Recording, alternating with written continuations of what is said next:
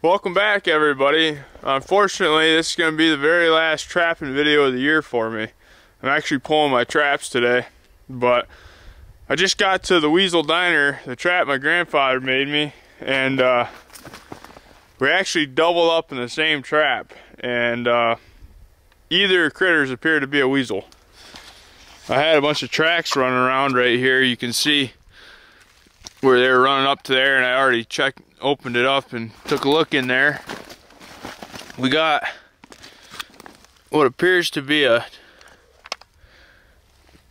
uh, mouse, very dead mouse. If I can get it out of there somehow.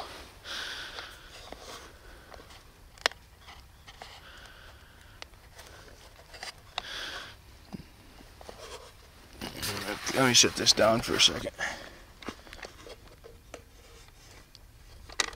Oh, there's the mouse. And then right here, that one's fresh.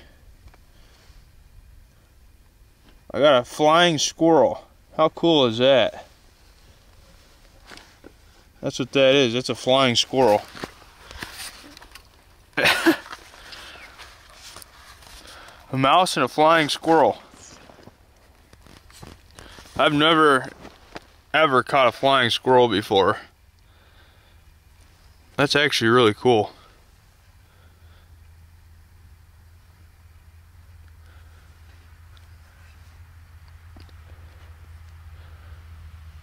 Huh. Never seen one of these up close. You can see why they're flyers. Their body's really flat.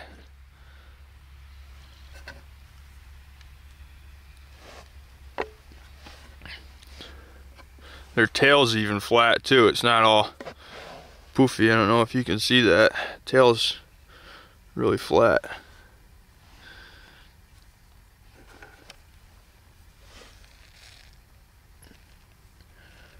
Huh. That is pretty cool, really. I didn't know flying squirrels ate meat. Unless it was just going in there to check out that hole. That thing must have hardly even been able to fit in there.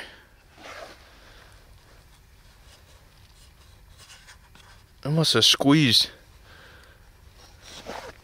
Oh yeah, I guess he fits in there pretty. Huh. Well, Grandpa, it worked out. We got two critters in your in the Weasel Diner. I guess we'll start calling it uh, Flying Squirrel Diner and Mouse Diner. I bet you I'll nail a weasel in it next year, but that's quite a way to end the trapping season. I'm uh, I'm all done. So I appreciate everybody following me along this year, and uh, next year we'll be right back at it. So now we're getting into shed hunting, and then uh, turkey hunting will be coming right up here, and all kinds of exciting stuff. So I appreciate everybody following me along on the trap line this year. If you liked it, uh, go ahead and tell me if you liked it in the comments below and uh, if you want to see something different next year or, or uh, more of something than I did this year, go ahead and let me know in the comments and really appreciate it, everybody. We'll uh, pack up the, the Weasel Diner here and head out. Has anybody else ever caught a flying squirrel in a weasel trap? Or am I the only one to manage that? Take it easy, everybody.